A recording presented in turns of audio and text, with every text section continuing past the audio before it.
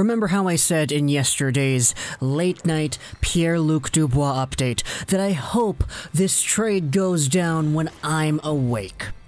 Well, I don't know about you, but I don't really know too many people who get up at 8 a.m. PST on a Saturday. Aside from those who legitimately do have work, by the way, but yeah, you know, I set an alarm today. Albeit that alarm is an hour late, but we have ourselves the official trade made. It is Columbus and Winnipeg getting it done. Check out the deal right here. It is Patrik Laine and Jack Roslovic for Pierre-Luc Dubois and a 2022 third round pick.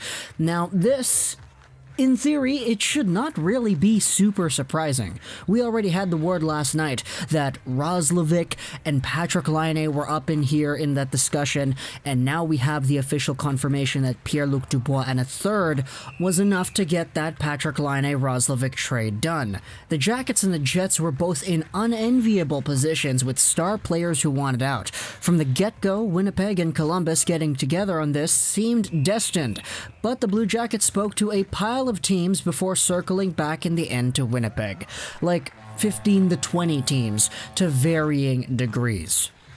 We then had a few other pieces of news come out about the trade. Roslovic gets a two-year contract extension with a 1.9 AAV, so he gets signed and he's going to be officially playing now. And this is what Pierre-Luc Dubois' agent Pat Brisson says. Pierre-Luc Dubois is excited and he's looking forward to joining the Jets. This could have been a longer process. We're happy it's done. Looking positively ahead.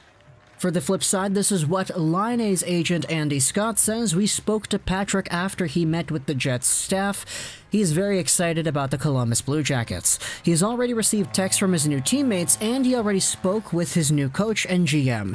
We're making plans for him to get to Columbus ASAP to begin his quarantine. And so, yeah, you know, it's kind of funny and it's kind of cathartic how it ends off this way. Patrik Laine and Jack Roslovic over for Pierre-Luc Dubois and a third. Obviously, you had other teams in there, you had other discussion points to go about there. We had so many other teams enter this discussion on both fronts, but now it's officially done, and Pierre-Luc Dubois is going to go over to Winnipeg. In a few years, you're going to have Scheifele, Dubois, and Cole Perfetti, some variation of that three-headed monster over there tearing things down at the center ice position.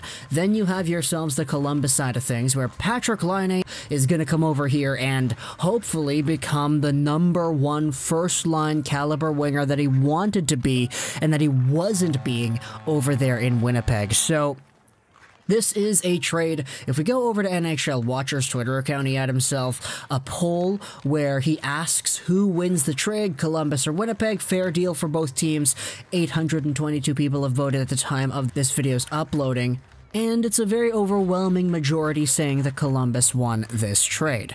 And it's hard not to say that they did, because Roslovic is a very good, capable NHL forward, middle six guy for sure, top six debatably, who does have a lot more room to grow in this league. Laine, we don't know how good Patrik Laine is and is going to be. Meanwhile, Dubois in a third is just Dubois and another asset. But again, tell me in the comments what you thought about this trade here. I hope you enjoyed this video. Trolls99. Good morning, by the way. It's a really early and bye.